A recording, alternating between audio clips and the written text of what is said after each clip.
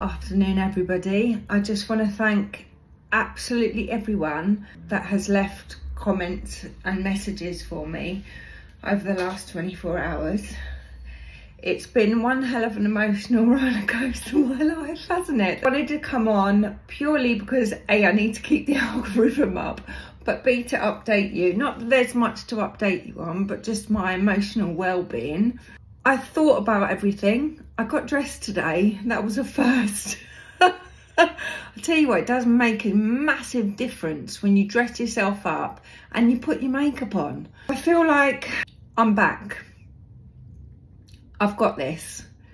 And my daughter does understand what's happening. I haven't had a proper conversation with her yet. But as it stands, before I have my consultation on Monday, I've always been told that there is no more treatment that can be given to me and that there was no more surgery that could be had.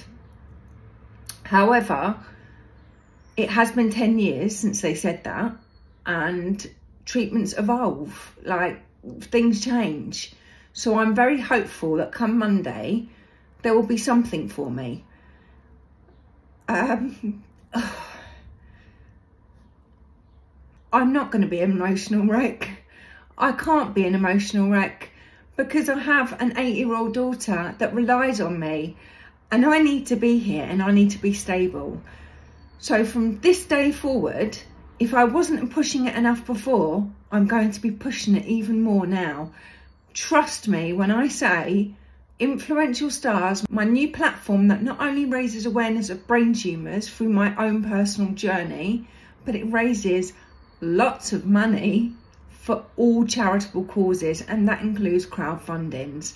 People just need to be aware of what I am doing. We've already completed one prize draw and that creator managed to donate £502 to Marie Curie. That's just the, the smallest amount. Can you imagine once everybody gets on board with this, how much can be raised? Yes, like I've said, it's a business. I need to put a roof over my daughter's head because I don't know what's coming next. I really don't.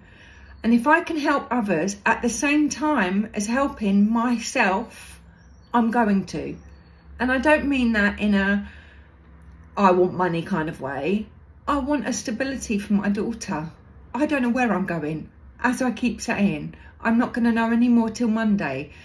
I'm hoping that whatever the outcome is, they will be able to stabilise my tumour, but it's not been stabilised in all these years. It's still growing. For all those out there that are going through the pain and suffering of having a brain tumour or any illness or condition, you understand where I'm coming from as a mother.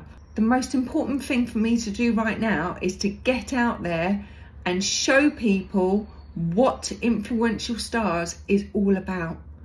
Because it's not just about me. It's really not. It's about what I've always wanted to do helping others.